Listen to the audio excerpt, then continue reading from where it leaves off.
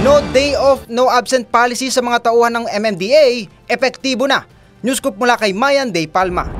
Epektibo na ngayong araw, Miyerkules Santo, ang No Day of No Absent policies sa mga tauhan ng Metropolitan Manila Development Authority o MMDA. Kasunod ito ng 2,000 personnel na ipinakalat ng ahensya upang masiguro ang ligtas at maayos na pagbiyahe ng mga pasahero ngayong Semana Santa. Una nang sinabi ni MMDA Assistant General Manager for Operations David Angelo Vargas na hindi nila papayagan ng vacation leave o absence sa kanilang mga tauhan upang tutukan ang mga pangunahing kalsada at masigurong ligtas at maayos ang paggunita ng kwaresma. Kaugnay nito inaasahan ng ahensya ang pagdagsa ng mga pasaherong uuwi sa kani-kanilang probinsya para gunitain ng Semana Santa. At yan ang aking news scoop. Ako po si Mayan Day Palma, nagbabalita ng tama, naglilingkod ng tama.